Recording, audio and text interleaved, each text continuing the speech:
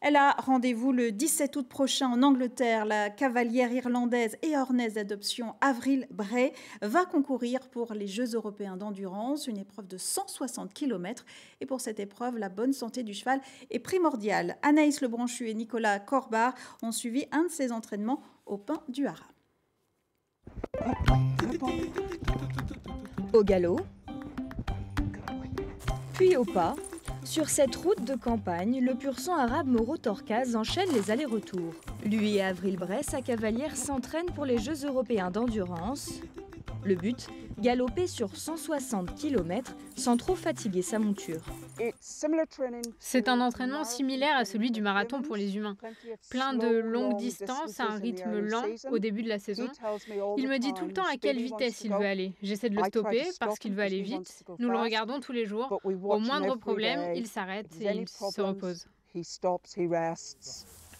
Comme pendant les compétitions, le rythme cardiaque de l'animal est régulièrement vérifié.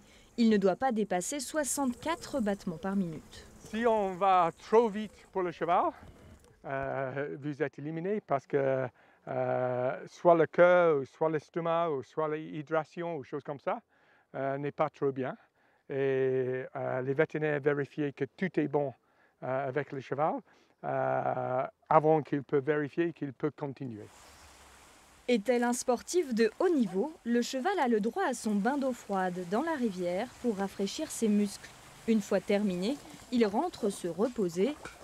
Avril et Anton Bray possèdent 14 chevaux au total. À 62 ans, la passionnée rattrape le temps perdu.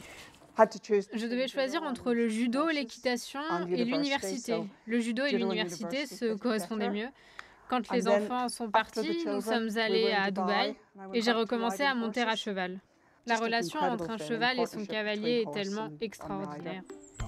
Encore trois entraînements, du repos et les deux équipiers seront fin prêts pour la compétition. Ils prendront la route vers l'Angleterre la semaine prochaine.